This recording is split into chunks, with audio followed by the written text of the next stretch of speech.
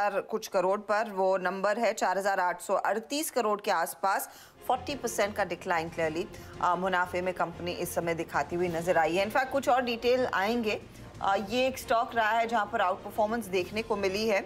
आय मेरे ख्याल से दो लाख करोड़ के आसपास की इनकी आ, आ, रहनी चाहिए। आ, लेकिन प्रॉफिटेबिलिटी में एक नॉक आता हुआ ज़रूर दिखाई दिया है आई इस, इसमें एक चीज़ है इसमें हो सकता है कि अभी जो करंट क्वार्टर है ना, इसके नंबर्स भी वीक आएँगे, क्योंकि दो रुपये का प्राइस कट हुआ प्लस अब चार जून को इलेक्शन के रिज़ल्ट हैं तो अप्रैल से लेकर जून तक का पीरियड है जिसमें इनकी अर्निंग्स थोड़ी सबड्यूडी रहने वाली है।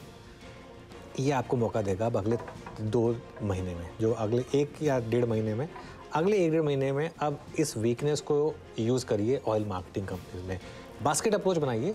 अपने फाइनेंशियल एडवाइजर ज़रूर पूछेगा H P B P I देखिए, सात रुपये का डिविडेंड दिया इन्होंने। तो डिविडेंड तो आने वाला है यहाँ से सबसे अच्छा खासा, ठीक है? तो वो तो हमेशा एक ही रहेगा। अगले डेढ़ महीने में मैं अब आपको अभी बता रहा हूँ, फिर क्योंकि बाद में ये लोग कहेंगे कि मिस हो गया। अभी मैं आपको बता रहा हूँ, अगले डेढ़ महीने में इसमें बास्केट अप्रोच तरह काम करिएगा।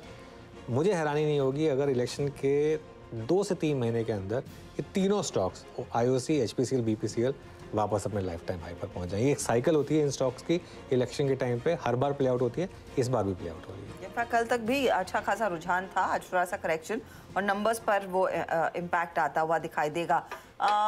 अमित चार्ट्स पर क्या आपके लिए प्रेफर्ड ट्रेड रहेगा आईओसी एचपी या बीपी में?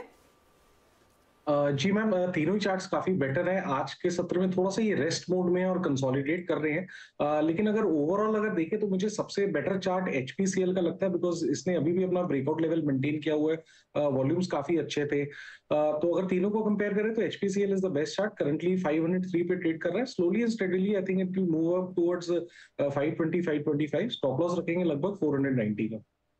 ओके चलिए अब